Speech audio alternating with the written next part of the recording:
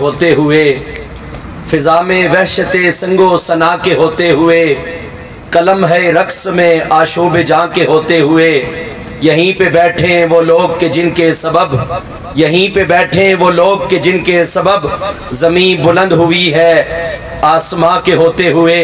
माना के बपा है, पाबंद सलासल का शोर जमाने में। मगर कैदी का जोश जनो, हद से भी बड़ा है। ए लोगो, आँखें नहीं काम तो जरा खोलो। देखो, जंगली अभी तक सरेदार बोल रहा है। वही अंदाज, वही लबो लहजा वही तड़प, वही फ़र्क वही चमक, वही दमक के बादलों की घन गरज भी है, समंदर की सिद्धुगियानी भी है और जोरानी भी है। तशरीफ़ ला रहे हैं अपने बाबा शहीद के मिशन को ज़िंदा रखने वाले मौलाना मसरूर नवाज़ जंगवी।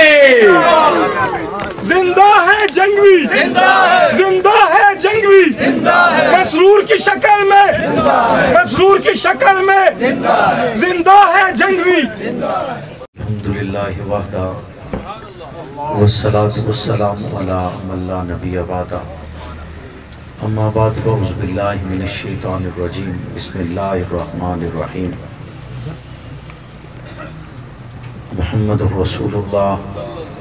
वल्लज़ीना माअहु अशिद्दाउ अलल बैनहुम क़ाल नबी सल्लल्लाहु अलैहि वसल्लम ला युमिनु अहदुकुम हत्ता अकून अहब्ब इलैहि मिन वालिदिही व वलदिही वन्नासि अजमईन औ कमा काल सदकल्लाहु व सदक रसूलुहु नबियुल करीम दुरूद पाक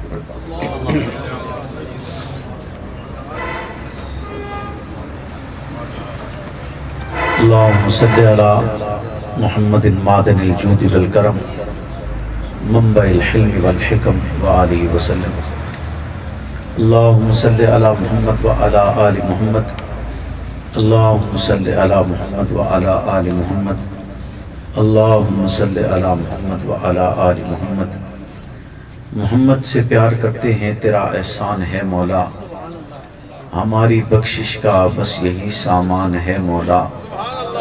दरे शाह मदीना छोड़ दें जन्नत के बदले। ये सौदा हम नहीं करते, हमें नुकसान है मौला। तेरे बागी, तेरे शातिन बशर अच्छे नहीं लगते। तेरा साया न हो जिन पर वो सर अच्छे नहीं लगते। तेरे असहाब से मुझको मोहब्बत क्यों न हो आका? किसे ऊँचे, घने, ठंडे शजर अच्छे नहीं लगते। मेरे वाजिबुल एहतराम, दोस्तों, बुज़ुर्गों, आल सुन्नत से ताल्लुक़ रखने वाले गयूर नौजवान साथियों। मेरे इंतहाई मुकर्रम मोहतरम Ghulam Mustafa Baloch sahab, general secretary, Rabta committee, Pakistan, मोहतरम गुलाम यासीन साहब, सदर रबता कमेटी, पंजाब, मोहतरम इमरान हजारवी साहब और मेरा इंतहाई मोहतरम भाई और दोस्त शेख हमज़ा साहब, जिनकी पुरखलूस दावत पर यहाँ हाजिरी का शर्फ हासिल हुआ। मुफ्ती हसन साहब और दीगर मोजीन इलाका।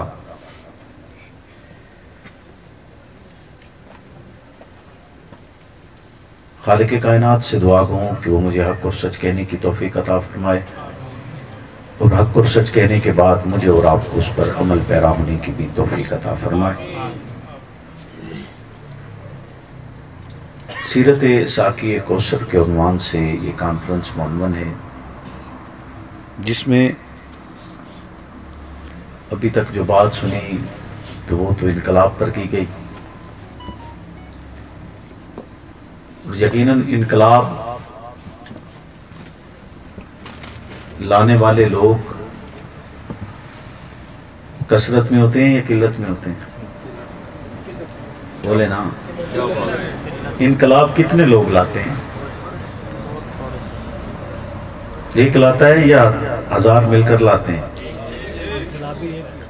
इनकलाबी एक ही होता है और उसके साथ मिलने वाले फिर बाद में चाहे लाखों हो जाए। इनकलाब लाने वाला अकेला होता है। अक्सरियत तो अक्सर साथ नहीं होती।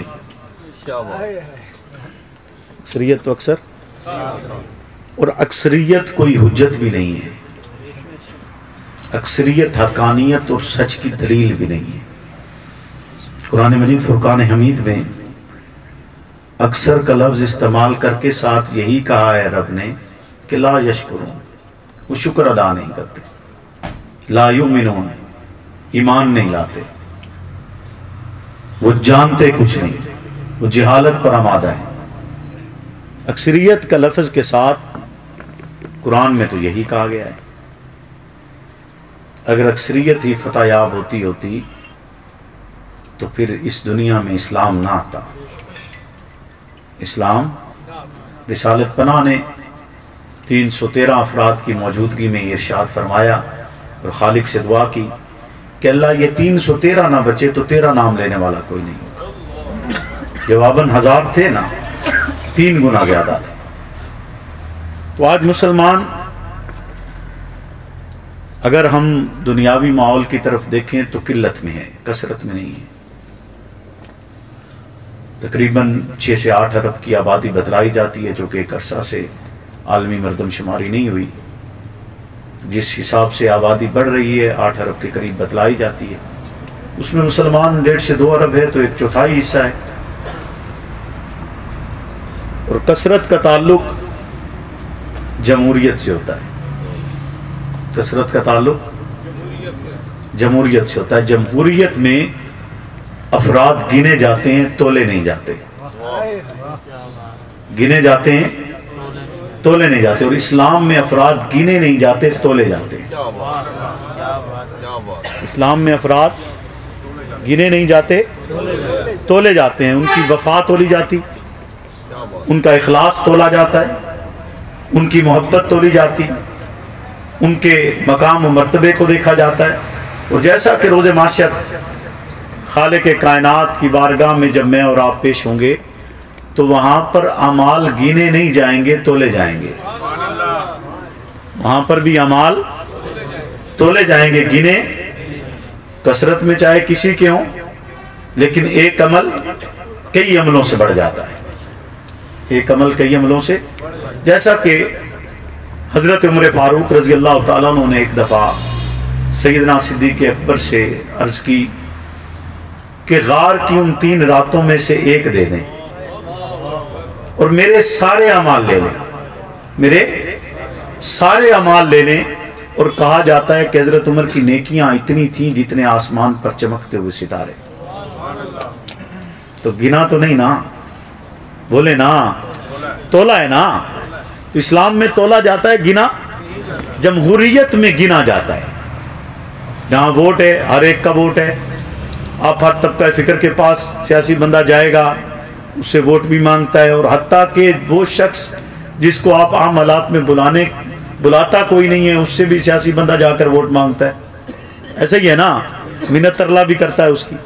तो सबका वोट जमहूरियत में बराबर है। वहाँ कोई शर्त नहीं कि जी वोट उसका होगा जो इंतहाई नेक, साले हो, परहेजगार हो मुतकी हो। नहीं, हर एक का है। तो इस्लाम में गिना नहीं जाता बल्कि तोला जाता है, वज़न होता है कि मकाम किसका ज़्यादा है, मरतबा किसका बुलंद है? कौन है जो जिसकी इतबा मुझे और आपको करनी है? किसके रास्ते पर मुझे और आपको चलना है? तो रिसालत पना ने वह साब रसूल मुझे और आपको दिए कि जिनके नक्श कदम पर मुझे और आपको चलना है ताकि मैं और आप कामयाब हो सकें। सरकार दोम वसल्लम की ज़ात बाबरकत। मेरे और आपके लिए मोहब्बत, अकीदत और अकीदा है। हर मुसलमान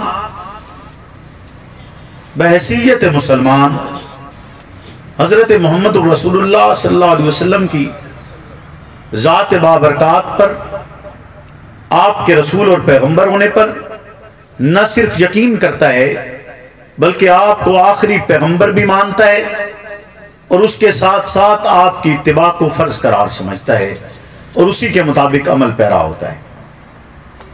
खालिक कायनात का बेपना कर्म है, उसका लाख लाख शुक्र है कि उसने मुझे और आपको मुसलमान पैदा किया। मैं और आप मुसलमान हैं। बहसीत मुसलमान, मुझे और आपको जो कोशिश करनी है, और वो कोशिश ये है कि मेरी और आपकी आखरत कामयाब हो जाए। आखिरी मंजिल जिसे अबदी ज़िंदगी कहा जाता है, उसमें हमेशा हमेशा का सुकून, हमेशा हमेशा की राहत, और जन्नत मेरा और आपका नसीब हो। उसके लिए मुझे और आपको कोशिश करनी है। उसके लिए जो तरीका कार किताबुल्लाह में वजाए उस तरीका कार के लिए अल्फाज इस्तेमाल होते हैं। आमनो, ईमान लाओ वामिलसालहात नेका माल करो बतवा सो बिल हक की बतवा सो भी सब्र हक की ताकीद करो और सब्र की ताकीद करो। पहला दर्जा, ईमान को दिया जाता है, अमल को नहीं दिया गया। क्या अमाल जितने अच्छे जितने उमदा है, और अगरचे अमाल में अगर कमी भी रह गई तो एक सजा और जजा के वक्त के बाद बिलाखिर मेरे और आपके नसीब में जन्नत होगी। लेकिन अगर ईमान में कमी रही तो मेरी और आपकी बख्शिश मुमकिन नहीं है। ईमान में मामूली सी कमी, मेरी और आपकी निजात का नहीं, बल्कि अजाब का सबब बनेगी। वो ईमानियात जिन्हें खाले के कायनात ने मेरे और आपके लिए लाजिम करार दिया है। जिन पर ईमान रखना हर मुसलमान का पहला और बुनियादी फरीज है कि ला इल्लल्लाह, अल्लाह के सिवा कोई माबूद नहीं, कोई मुश्किल कुशा नहीं, कोई हाजत रवा नहीं, कोई औलाद नहीं देता है, कोई बारिश नहीं बरसा सकता। वो तमाम चीज़ें जो सिर्फ़ मेरे और आपके महबूद से मुतालिक हैं, उनमें वो अकेला है, यकता है ला शरीक है, उसमें कोई उसका शरीक नहीं, कोई उसका मिसल नहीं, कोई उसका हमसर नहीं, कोई उसका साथी नहीं। ला इल्लल्लाह के अल्फाज के साथ मैं और आप उसे इलाह तस्लीम करते माबूद तस्लीम करते और अपनी इस पेशानी को जो उसने अपनी बारगाह में झुकाने के लिए बनाई है, उस पेशानी को उसी की बारगाह में झुकाते हैं। रिसालत पना पर ईमान रखते हैं। आपके आखिरी पैगंबर होने पर ईमान रखते हैं। मोहम्मद के रब के पैगंबर और रसूल होने पर ईमान रखते हैं। आपकी इतात को फ़र्ज़ समझते हैं। ईमानियात में से जन्नत और दोजक पर ईमान रखा जाता है। मलाइका पर ईमान रखा जाता है। जन्नत और दोजक मैंने और आपने देखी नहीं। फिर भी ईमान रखा गया। मलाइका मैंने और आपने देखे नहीं। फिर भी ईमान रखा जाता जो अंबिया और रसुल गुजर गए। मैंने और आपने उनका जमाना नहीं पाया। तब भी उन पर ईमान रखा जाता है वो मसाइफ और वो आसमानी किताबें जो उन अंबिया और रसुल पर उतरी, जिन्हें मैंने और आपने उनकी असल शक्ल के साथ नहीं देखा। उसके बावजूद हमारा ईमान और अकीद है कि वो तमाम मसाइब और वो आसमानी किताबें जो रब ने नाजिल की थी, तमाम की तमाम सही दुरुस्त और रब का कलाम था। अगरचे बाद में लोगों ने उसमें तब्दीली कर दी। और तब्दीली के बाद जब किताबुल्ला नाजिल कर दी गई तो ये पैगाम बतला दिया गया है कि अब तो रात जबूर और इंजील पर अमल नहीं होगा। अब अमल होगा तो कुरान मजीद पर। अब अमल का मैार किताबुल्लाह, ये कुरान मजीद है। इसके अलावा तमाम तर शरीयतों को कल अदम करार दे दिया गया है। अब सिर्फ़ शरीयत नाफिज होगी तो शरीयत मोहम्मद रसूलुल्लाह की होगी। तरीका नाफिज होगा तो तरीका मोहम्मद रसूलुल्लाह का होगा। इतात फ़र्ज़ होगी। तो अब हज़रत आदम से लेकर ईसा सलाम तक किसी और पैगंबर की इतात नहीं की जाएगी। अब इब्राहिम की इतात नहीं है, मूसा की इतात नहीं है नू की इतात नहीं है। गर्ज किसी भी पैगंबर की इतात अब नहीं की जाएगी। इस जमाना में मोहम्मद रसूलुल्लाह के मबूस होने के बाद अगर किसी की इतात फ़र्ज़ है तो वो मोहम्मद रसूलुल्लाह की जात है और उन्हीं की जात पर मैंने और आपने यकीन रखते हुए उनकी इताअत करनी है। ये तमाम तर ईमानिया जो मेरे और आपके ईमान के हिस्से हैं, साथ ही साथ रब ने किताबुल्लाह को उतारे और उसकी हर एक आयत को लारेब बनाए, बेमिसल बनाए बेऐब बनाए और उस आयत मुबारक के एक एक हर्फ के लिए मुझे और आपको इस्लामी हुक्म यही है कि मैंने और आपने उस पर ऐसा ईमान रखना है, जो ईमान कामिल हो, ऐसा ईमान रखने जिस ईमान में कोई शक ना हो, ऐसा ईमान रखने जिस ईमान में कोई शुबा ना हो कि ये लारेब किताब जो आसमान से उतारी गई, ये लारेब किताब जो खालिक के कायनात ने उतारी है, जिबरील अमीन लाए हैं मोहम्मद रसूलुल्लाह के नुतके मासूम से जारी हुई है। ये लारेब किताब मेरी और आपकी हिदायत के लिए लाजिम है। मेरी और आपकी हिदायत के लिए लाजिम है। जहाँ मैंने और आपने इस किताब मुबीन के हर एक हर्फ और आयत पर ईमान रखना है। वहीं पर इसी किताब खुदा, एक आयत मुबारक है, जिस आयत मुबारक में खाले के कायनात हुक्म करते हैं। अपने पैगंबर से हुक्म यह किया जाता है कि इस यकूल साहिबी अपने सहाबी से कहिए, लिसाइबी का लफ्ज वाज लफ्ज है, कोई मुतशाबे लफ्ज नहीं, जुमाना लफ्ज नहीं, खुला लफ्ज है, दो टोक लफ्ज है, इसमें कोई शक और छुआ नहीं है। बगैर और इसका माना, अरबी ज़ुबान में साहबी या दोस्त के अलावा कोई और नहीं किया जा सकता है। कुरान एक बलाखत की किताब है। बेशुमार अल्फाज उसमें उतरे हैं और उससे हिदायत करने वाले अफराद जब उसको पढ़ते हैं तो उसके एक एक लफ्ज से कई कई माना निकलते हैं। हत्या कि आप जब इमाम आपके सामने कुरान पढ़ रहा होता है तो उसे कुरान पढ़ते हुए भी मुतशाबे महसूस होते कभी वो पढ़ते पढ़ते कुरान के पहले सिपारे से पंद्रहवें सिपारे में चला जाते कभी आखिरी सिपारे में चला जाते गर्ज उसे बहुत अल्फाज पर मुतशाबे महसूस हो सकते हैं और उन अल्फाज को इस अंदाज से बयान किया जाता है कि वो लफ्ज जिस मकाम पर ज़िक्र किए जाते हैं, उस मकाम पर उनका माना अलग होता है, उसका मफहूम अलग होता है। लेकिन ये लफ्ज लिसाई भी का लफ्ज।